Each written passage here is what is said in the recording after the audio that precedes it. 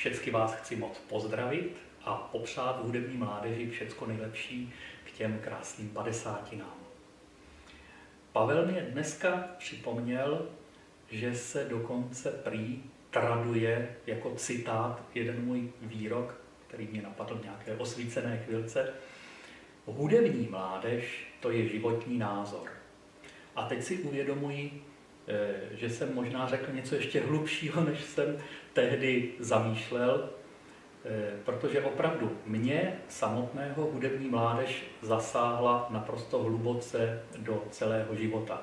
Ono to souvisí taky s osobností profesora Františka Kovaříčka, který byl na konzervatoři mým profesorem skladby a on to nebyl jenom profesor skladby a hudby. On to byl zároveň taky můj učitel života.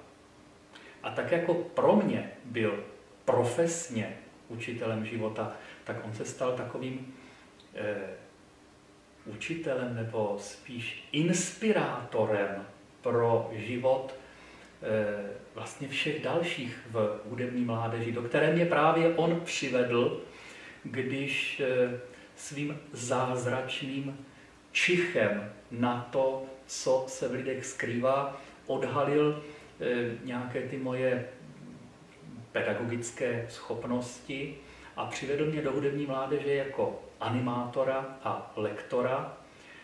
A to pro mě byla zároveň zase další obrovská inspirace, setkání se spoustou báječných přátel, eh, spousta krásných eh, ne chvil, ale hodin a dnů a týdnů prožitých eh, s lidmi, se kterými nás spojovaly společné zájmy. A ty zájmy zdaleka nebyly jenom hudba jako taková, protože jedno z těch hlavních poselství profesora Kovaříčka bylo právě, že hudba to není něco samoučelného. Hudba e, není cílem, ale hudba je cestou a prostředkem k tomu, e, aby nám bylo na světě krásněji, abychom i my se pokusili být trošku lepšími a krásnějšími. A v té době určité nesvobody, kdy e, hudební Eh, mládež eh, eh, spoustu věcí musela dokonce suplovat.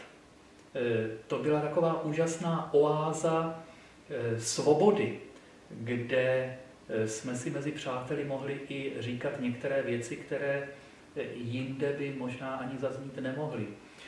Hudební mládež zároveň tak trošku nahrazovala i jiné Eh, společenské aktivity, které prostě nemohly existovat. Pod eh, pláštíkem hudební mládeže eh, se lidé skutečně mohli rozvíjet daleko svobodněji, diskutovat mnohem otevřeněji než kdekoliv jinde, na jakémkoliv jiném fóru v té době. A to si myslím, že byl ten obrovský vklad, ten obrovský přínos. A samozřejmě hudba jako taková byla tím hlavním stmelovacím prostředkem, ale někdy byla vlastně záminkou pro spoustu dalších a dalších krásných prožitků a e, setkání mezilidských vztahů.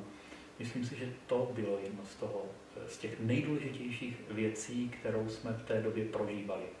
Pro mě osobně to byla zároveň úžasná škola, kdy jsem si díky zase vedení pana profesora Kovaříčka taky uvědomoval, že Eh, učit neznamená poučovat, mentorovat, nařizovat, že eh, dobré učení je na prvním místě inspirací pro ty ostatní. Je to eh, ne pobízení, tohle dělejte, ale pozvání, tohle to zkuste.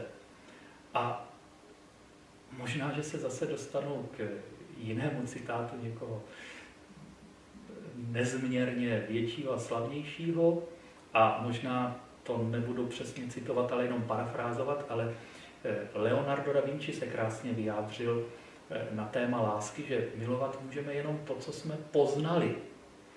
A e, skrze poznávání hudby se vlastně posilovala naše láska k hudbě, ale skrze tu hudbu jsme šli ještě k dalšímu poznání, hlubšímu a širšímu poznání.